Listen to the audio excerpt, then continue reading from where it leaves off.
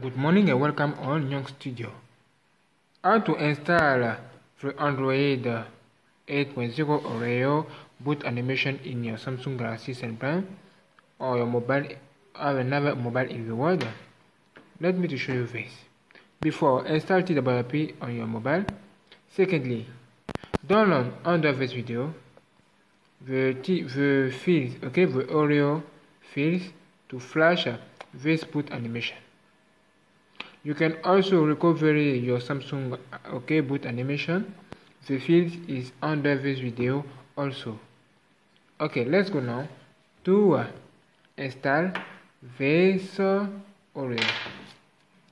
Do this, select all the home button, volume up and power button at the same time.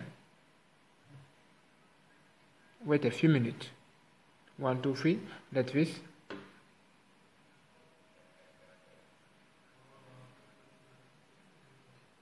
Alright, this is a TWRP. Do this. And now connect your USB where you have copied this files, this Oreo files, boot animation under this video. Okay. Select this install. Select storage, USB OTG, and OK. When you come here, look at here. Oreo slow. Select this and do this. If it's done, click here, reboot system. Disconnect now your USB OTG and look at now your new mobile. Your new boot animation is here. Look at. One. Welcome. It's done.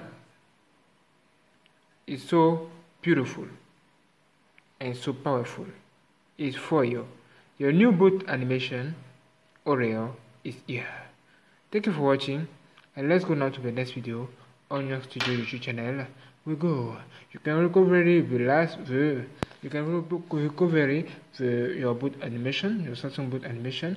Okay, the link is under this video also. You can download this to do the same action to recover your boot animation. Thank you for watching. And see you later for the next video. Next video. Hello so much. Go.